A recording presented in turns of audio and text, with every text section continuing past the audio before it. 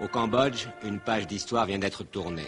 Le gouvernement de Phnom Penh, poursuivant sa politique d'indépendance absolue, a pris ses distances avec la Chine. Que s'est-il passé? Le chef de l'État, Norodom Sihanouk, a bien voulu, pour l'expliquer, nous accorder cette interview exclusive.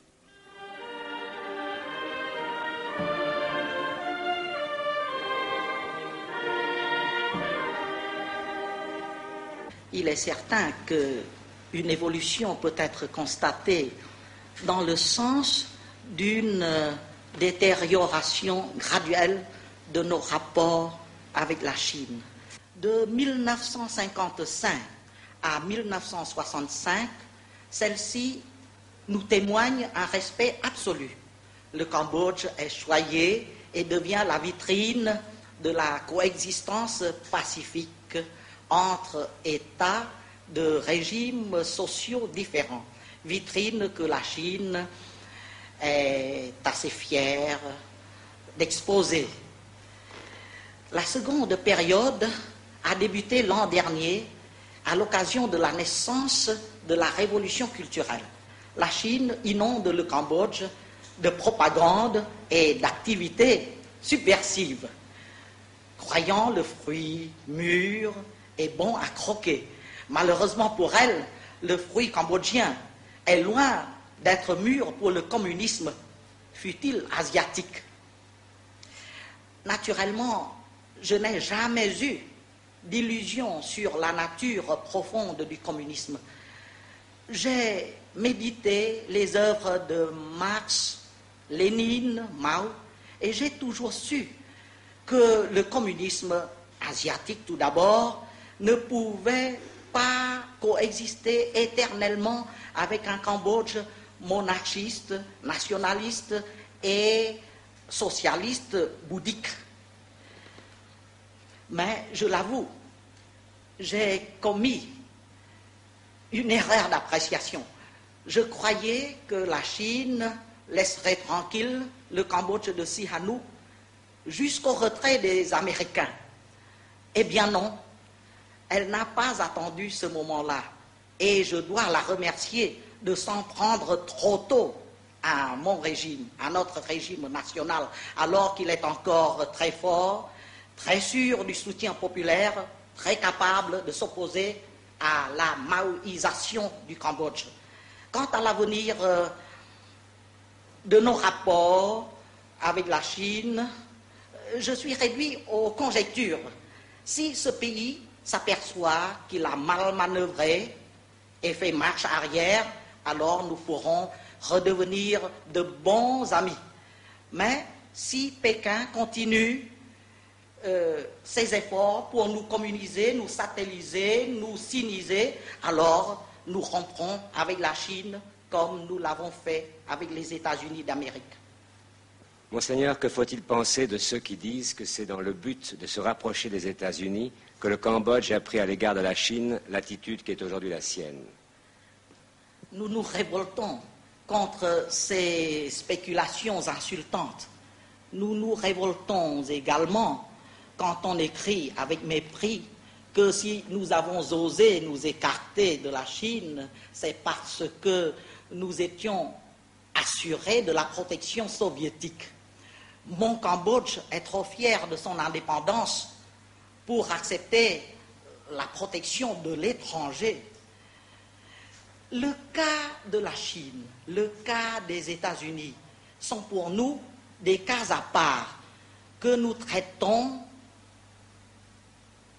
séparément selon la règle de la réciprocité, sans aucun calcul, sans chercher à réaliser de fragiles équilibres nous ne sommes pas des opportunistes qui s'apprêtent à suivre le prochain vainqueur.